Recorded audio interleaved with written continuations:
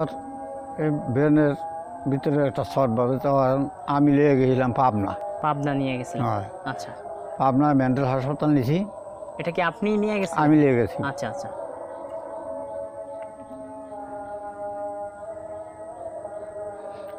হেন কয়েকদিন পর সাইডে দিছে। বুঝেছে ভালো। ভালো আচ্ছা। পাবনা গেছি তো অনেক কষ্টে। অনেক কষ্টে গেছেন। আচ্ছা এটা কত সালে হবে আঙ্কেল? সুপ্রিয় দর্শক মণ্ডলী আসসালামু আলাইকুম। সবাইকে দৈনিক গ্রাম অঞ্চলে স্বাগতম। এবং আমরা আজকে চলে আসি বরিশাল মেহেন্দিগঞ্জের আহ, চাঁদপুর ইউনিয়নের মাদারতলি গ্রামে। তো দর্শক মণ্ডলী আমরা আজকে একটি ডিফারেন্ট আপনাদেরকে এর আগে অনেক রকমের ভিডিও দেখিয়েছিলাম। তো আজকে আমরা একটু ডিফারেন্ট কিছু দেখানোর চেষ্টা করতেছি এবং আমরা আপনাদেরকে আজকে ডিফারেন্ট একটু কিছু দেখানো দেখাবো ইনশাল্লাহ তো সেই ধারাবাহিকতাই আমরা আজকে এখানে চলে আসি। তো ভিডিও স্ক্রিনে যে মানুষটিকে দেখতে পাচ্ছেন ওনাকে মেহেন্দিগঞ্জের এমন কোনো স্থান নেই যেখানে ওনাকে আপনারা না চিনেন। তো এবং ওনার সম্পর্কে অনেকের অনেক রকমের ধারণা আছে অভিমত আছে। একই সাথে আপনারা ওনার সাথে অনেক ধরে অনেকেই আছেন যারা মেহেন্দিগঞ্জের যারা খারাপ বিরূপ ব্যবহার করেন। তো আশা করি আজকে এই ভিডিও দেখার পর থেকে আর আপনার বিবেক আপনাকে জাগ্রত করবে এবং আপনার বিবেক আপনাকে বাধা দিবে। কি খাইবা? অন্য কিছু খাও। অন্য কিছু খাও তো? আচ্ছা দিতে আসি। তো আজকে আমরা চলে আসি এই আফসার যিনি মানসিক ভারসাম্যহীন একটি লোক তার বাসায়।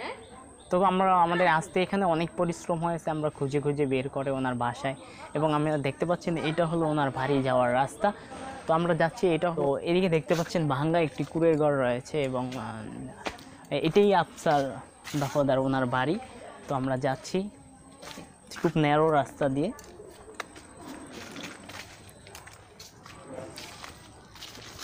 বাড়িতে আছেন কে? তো দর্শক মণ্ডলী আমরা এখন চলে আসছি আফসার হোসেন এবং তার বাড়িতে। এটা এবং বাড়ি, এটা ওনার ঘর, যে আমরা আঙ্কেল আপনার সাথে পরিচয় হব ওনার সাথেও পরিচয় হব এবং উনি যিনি আছেন তার সাথেও পরিচয় হব। তার মানসিক ভারসাম্যহীন মাঝে মাঝে আপনি দেখলেও বুঝতে পারেন হয়তো মেহেন্দিগঞ্জে যারা আছেন, যে মানুষটি আসলে মানসিক ভারসাম্যহীন না এবং তার কথাবার্তা সব কিছুই ভালো মনে হয়। কিন্তু কিছু সময়ের জন্য আবার পরিবর্তন হয়ে যায়। তো এই পরিবর্তন কেন হয় এবং শুরু থেকে তার জীবন বৃত্তান্ত আজকের এই পর্ব? তো সেই ধারাবাহিকতায় আমরা চলে আসছিলাম।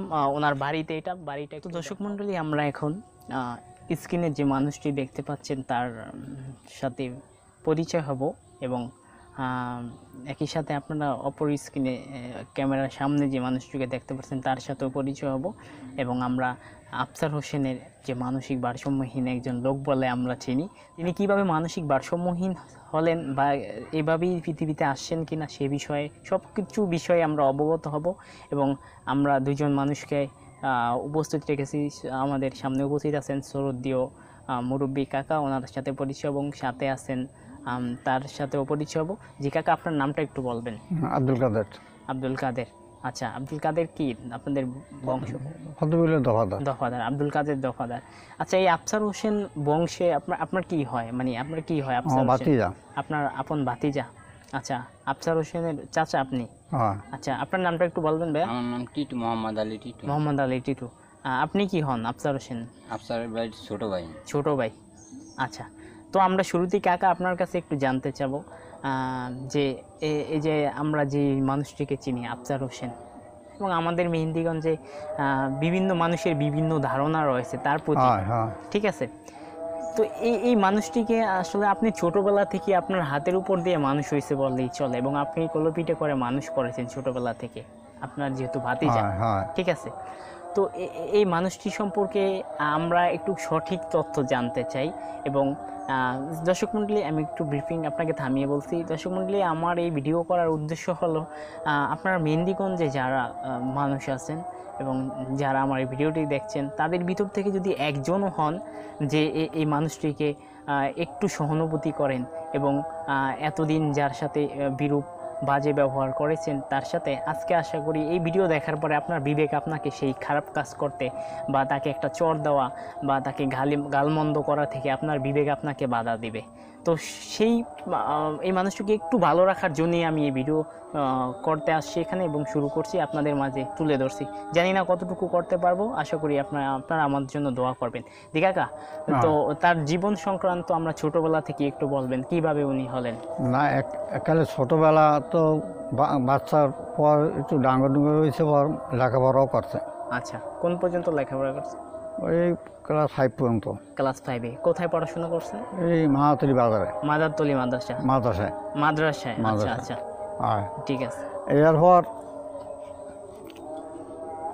এরপর দেখি আস্তে আস্তে আস্তে আস্তে এই ব্রেনের ভিতরে একটা শর্ট বাজে তো আমি লেগে গেছিলাম পাবনা। পাবনা নিয়ে গেছিলেন? হয়। আচ্ছা। পাবনা মেন্টাল হাসপাতাল নিছি। এটা কি আপনি নিয়ে গেছেন আমি লেগে গেছি। আচ্ছা আচ্ছা।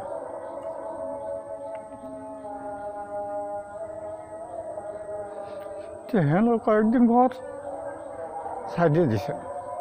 বুঝেছে ভালো ভালো আচ্ছা। পাবনা গেছি তো অনেক কষ্টে। অনেক কষ্টে গেছেন। আচ্ছা এটা কত সালে হবে আঙ্কেল সময়টা কি আপনার? সময়টা মনে নেই। আচ্ছা কত সালে হবে? অনুমানিক। বা কত বছর আগে হবে?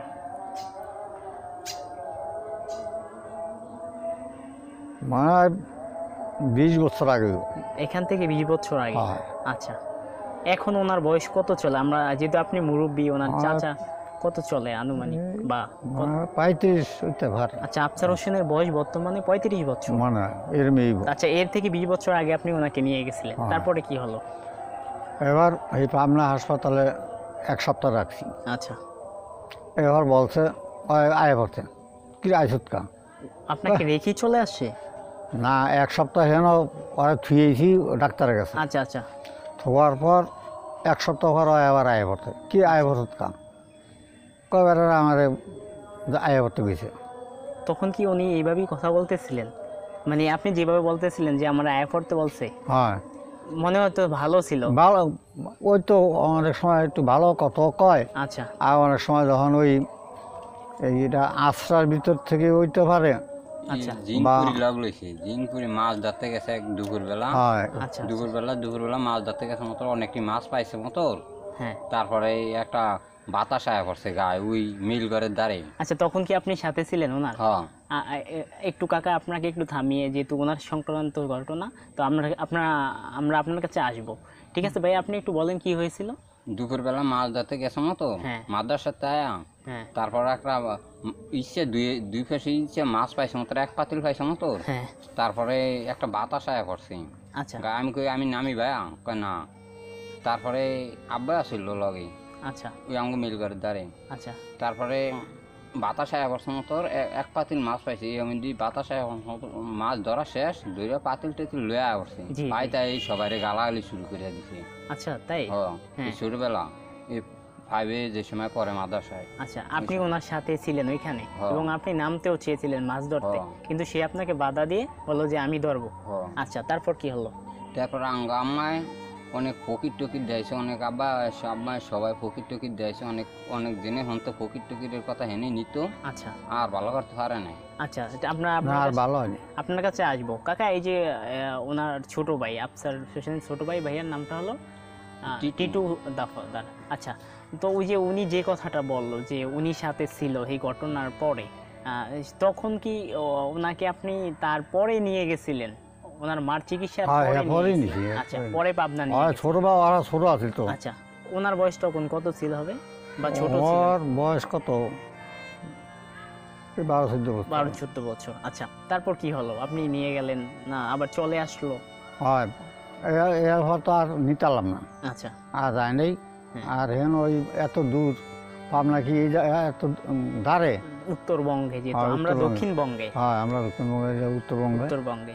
তো আর নেই নেই এই এরপরই আস্তে আস্তে আস্তে আস্তে আর মাথা গাড়ায় গেছে আর ভালো গাড়ে গাড়ে গেছে। আচ্ছা উম, তো এ, এ, সেই তারপরে কি আপনি আর কোনো চেষ্টা করেন না যে ভালো এবার এবার বরিশাল নিছি। অনেক চেষ্টা করছে ভালো। বরিশালও নিছি। বরিশাল নিয়েছিলেন? হয় বরিশাল নিয়ে পাবনা।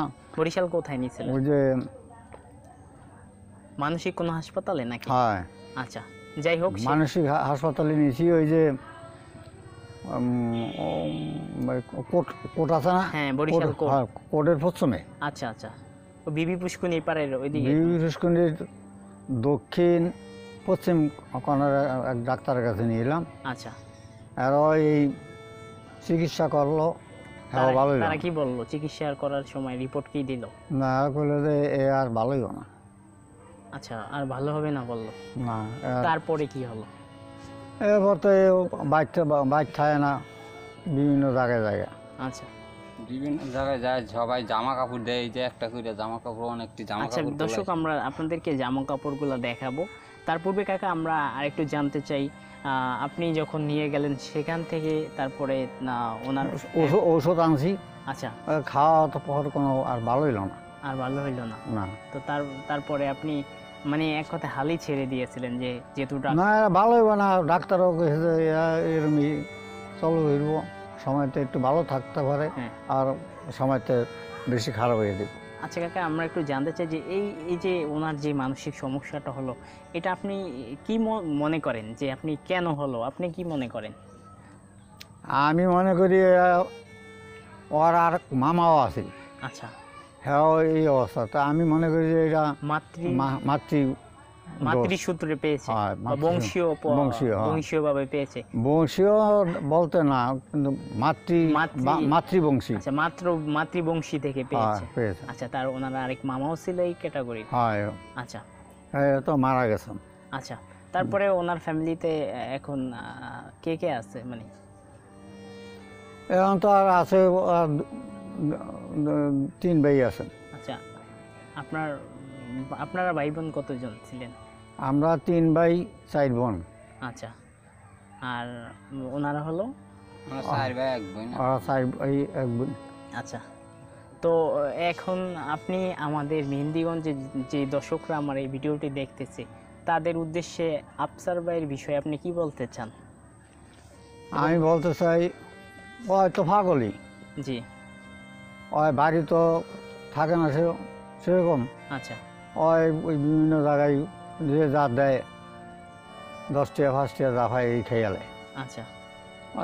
টিয়া হয় টিয়া টিয়া অনেক সময় টাকা টুকা আলায় আচ্ছা।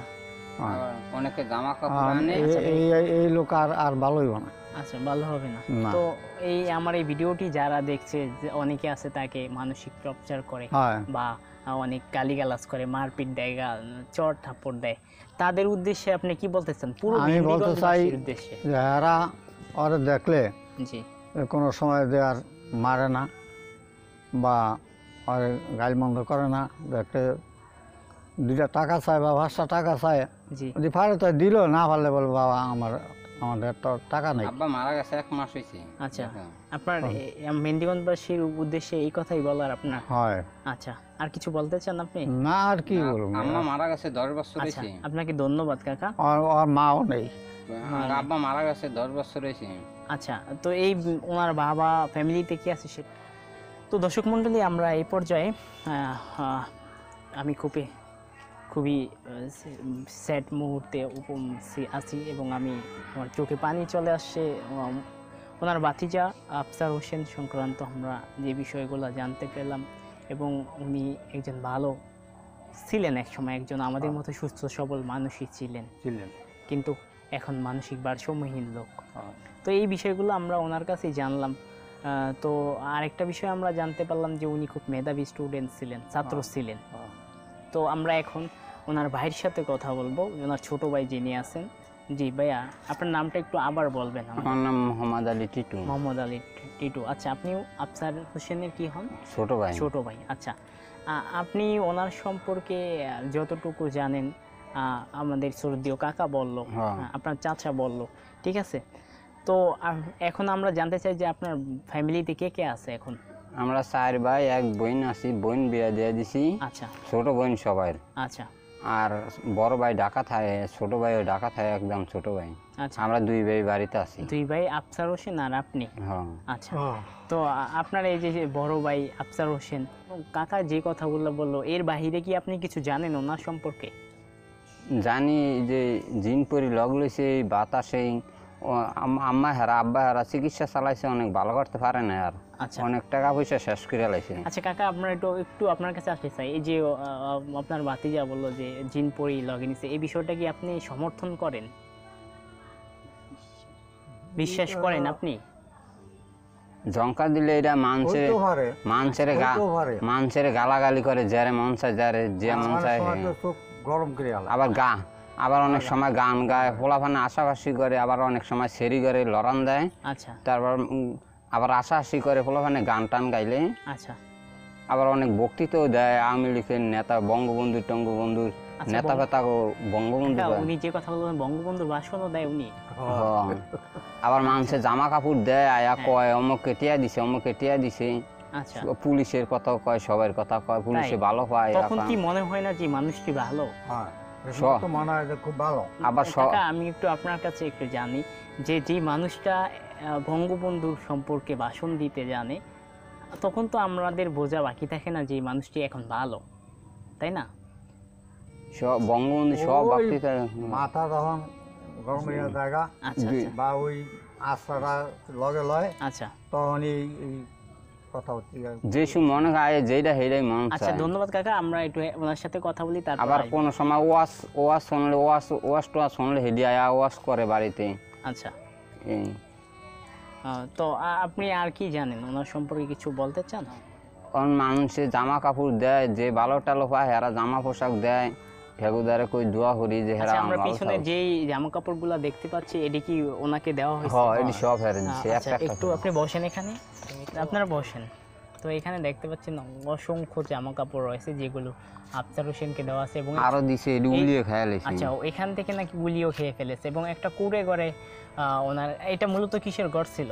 এটা দাঁড় করে থোর আচ্ছা লাকড়ি রাখার জন্য একটা ঘর ছিল। তো এখানেই সব এই জামা কাপড়গুলো সব আফসার হোসেনের? হ্যাঁ আচ্ছা মানুষ দিয়েছিল। হ্যাঁ আচ্ছা। এর কথা শুনলে আফসার ভাই কথা শুনলে আবার সবাই আশা আশি করে অনেকে আচ্ছা। আবার অনেকে খারাপ কয় বুঝছেন? আচ্ছা। অনেকে আশা আশি করে। আচ্ছা এখন আপনি কি আর কি বলতে চান? আমি সবার দ্বারা ক্ষমা যাই আমার বাইরে যে কেউ ফিটায় না কেউ খারাপ কথা লিখে রাগ টাক দিয়ে দেয় বাইক ফাটায় দেয়। আচ্ছা। তো ভাইয়া সর্বোপরি আমার আব্বা মারা গেছে আমার আম্মা মারা গেছে আমার আম্মা নানা নানি দেখে নাই। আচ্ছা। আব্বা আম্মাও দেখে নাই। বাবা মারা গেছে কত বছর আগে? আম- বাবা এই এক মা- এক মাস হয়েছে। এক মাস হয়েছে আচ্ছা খুব আমার দাদা দাদিও মারা গেছে এই যা এই পাঁচ বছরে নিয়ে গেছে আচ্ছা আপনার বাবা মারা গেছে এক মাস হয়েছে। মা মারা গেছে আরও আগে? মা মারা গেছে দশ দশ বছর। দশ বছর আগে। আচ্ছা বাবা মারা গেছে এক মাস আগে। তো এখন শুধু বাসায় আছেন আপনি আর আফসার হোসেন? আমি পা ধরে ক্ষমা চাই আমার মা মারা গেছে আমি কান্দি। আমার আমার ঘরে সবাই ক্ষমা করে আগে দিবে আল্লাহর কাছে বিচার দিয়ে আমার ঘরে যে কেউ এরম ইয়া কষ্ট টষ্ট না দেয় আল্লাহ যে এমন কিছু না করতে পারে এখনও মানুষ সৃষ্টি আচ্ছা করতে আল্লাহ। সর্বোপরি ভাইয়া আমরা আপনাকে ধন্যবাদ আসলে আমি ভাষা খুঁজে পাচ্ছি না আপনাকে কি বলে সান্ত্বনা দিব। তো আমরা জান সর্বশেষ আপনি আপনার ভাইকে কেন্দ্র করে মেহেন্দিগঞ্জে যত মানুষই আমার ভিডিওটি দেখছে তাদের উদ্দেশ্যে আপনার কি বলার আছে? আমি সবাই সালাম দিছি আসসালামু আলাইকুম।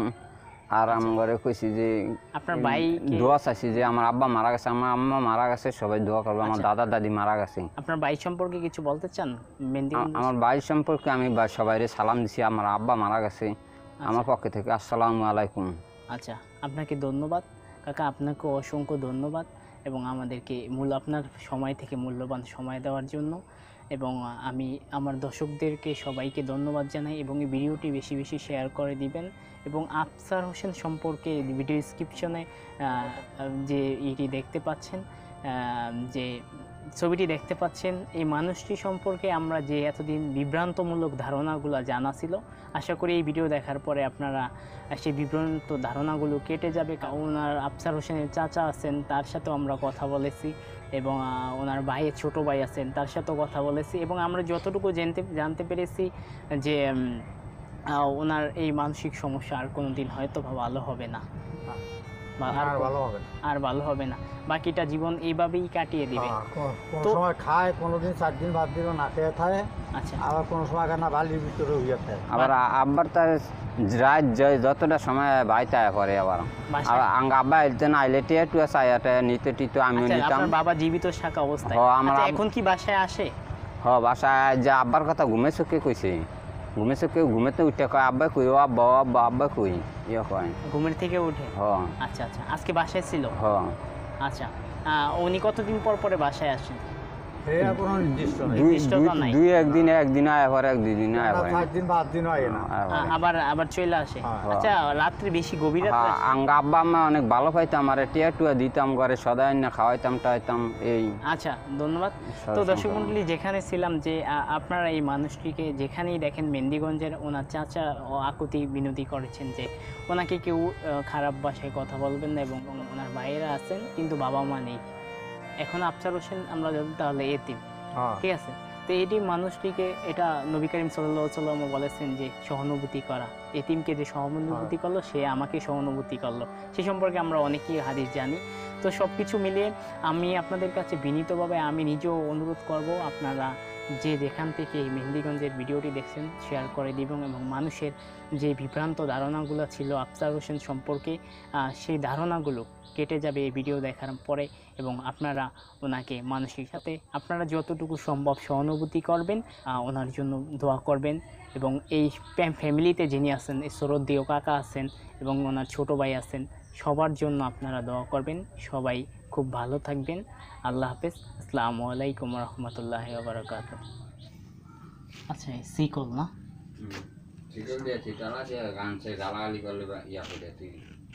আচ্ছা এই এই সিকল সম্পর্কে ভাইয়া আমাদেরকে একটু কিছু বলবেন আপনি? মানুষের লগে যারা ব্যবহার করলে গালাগালি করলে আমরা বান্না তুই। আচ্ছা এই সিকল দিয়ে ওনাকে বেঁধে রাখেন? হ্যাঁ।